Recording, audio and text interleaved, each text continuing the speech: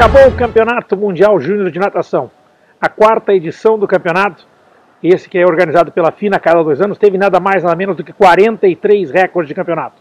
Foi o mais forte de todos os tempos. O Brasil sai daqui com uma medalha de prata, só uma medalha, mas uma grande participação. Repetimos a medalha solitária de 2003, de 2011, quando foi bronze. Foi a mesma prova, mas agora foi prata com o Pedro Vieira. Mas não foi só a medalha de prata que o Brasil vai levar daqui. O Brasil vai levar uma série de bons resultados e resultados muito expressivos. Amanhã, na Besquinha, a gente vai analisar um pouco mais isso. Hoje a gente vai destacar esse que foi o último dia de competição e que deu aos Estados Unidos a vitória na equipe feminina, masculina e no geral na contagem de pontos. Mas a grande vencedora dessa competição foi a Austrália, que levou 10 medalhas de ouro. A FINA dá o troféu àquela equipe que soma o maior número de pontos. Mas a gente sabe que o que vale realmente no desenvolvimento da natação são as medalhas. Medalha de ouro, quem ganhou foi a Austrália, 10 de ouro. Os Estados Unidos, inclusive, cai para o terceiro lugar, porque a Rússia empatou com os Estados Unidos em 9 de ouro, mas ganha nas pratas.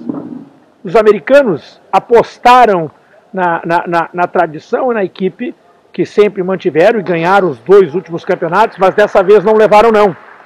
A equipe americana sofreu não só pelo fato de ter chegado dois dias antes da competição, mas principalmente pelos três, as três seletivas que realizou e realmente a equipe sentiu muito. Principalmente o masculino, que aqui não nadou como era esperado. O destaque feminino da competição não pode deixar de ser Ruta Melutiti, quatro medalhas de ouro nessa competição, duas de prata. Resultado espetacular da Ruta hoje, inclusive venceu o 50 livre, a melhor marca dela, mas até nadou a prova toda sem respirar e fez uma grande prova, bateu o recorde nacional Ruta Melutiti. No masculino, Big Mac. Mac Hort, o, australiano, que chega a seis medalhas de ouro, uma de prata, quatro recordes de campeonato, é o maior vencedor da história dos campeonatos júniores de natação. As luzes já estão apagando, o placar acabou de apagar, aí abaixo os, os uh, uh, uh, voluntários estão fazendo a sua reunião final, já estão, logo, logo já me colocam para fora daqui. Nós tivemos três brasileiros na água nessas finais. O, o primeiro a cair na água deles foi na prova dos, dos 200 metros na borboleta, o, o Luiz Altamir. Luiz Altamir que fez uma grande prova pela manhã, nadou para um 58,9, repetiu um 58,9, mas acabou na quinta colocação. E olha que os três primeiros colocados, nós tivemos uma, uma, brigada, uma briga pelo ouro e, e a prata entre uns 56, mas do bronze até o, o quinto lugar foi na casa de um 58. Infelizmente, o nosso 58 foi o 58,9 mais alto e o Luiz ficou de fora do pódio. Mas não pode reclamar. Ele que nunca tinha nadado abaixo de 1,50 nos 200 livre, nadou duas vezes para 1,49 e nunca tinha nadado abaixo de 2,1 nos 200 borboleta e nadou duas vezes para 1,58. Hoje é um dos melhores nadadores do Brasil na prova absoluta dos 200 metros nado borboleta. Luiz Otomir, grande futuro que tem por aqui. Nós tivemos uma infelicidade na prova dos 50 metros nado livre. A Fernanda Delgado, que estava nadando na raia número 1, é, é, na final do 50 livre, acabou balançando e balançou feio mesmo.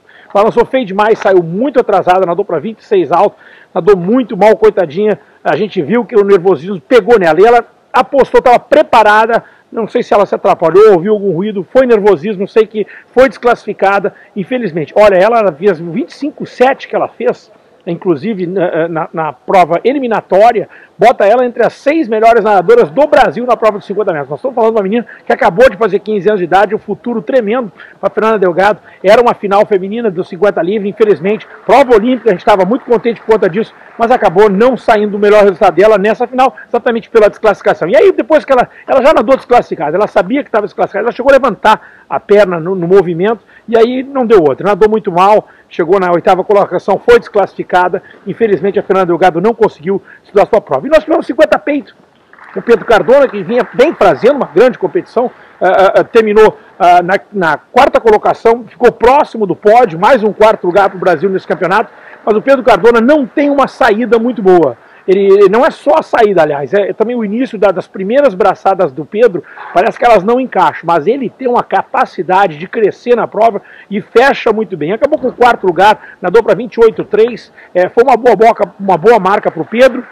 Ele que já tinha feito a sua melhor marca do 28,19 nos, na, na, na fase é, final, na eliminatória, perdão, quando foi o segundo tempo, é, sai daqui piorando um pouquinho em relação aos tempos, mas fez os seus melhores tempos na competição, tanto o 50 quanto o 100 peito, fez uma boa prova. Infelizmente, nós não tivemos os revezamentos 4 por 100, é, quatro estilos, nem masculino nem feminino na final, acabamos bobeando, não nadando o que devíamos ter nadado pela manhã, principalmente o masculino, que acabamos perdendo, perdendo uma, uma, uma oportunidade é, é de, de, medalha, porque o 4 por 100 medalha aqui da medalha de bronze acabou sendo para a África do Sul, é uma prova que poderia ter sido até nós. Nós não nadamos o revezamento ainda como deveríamos ter nadado.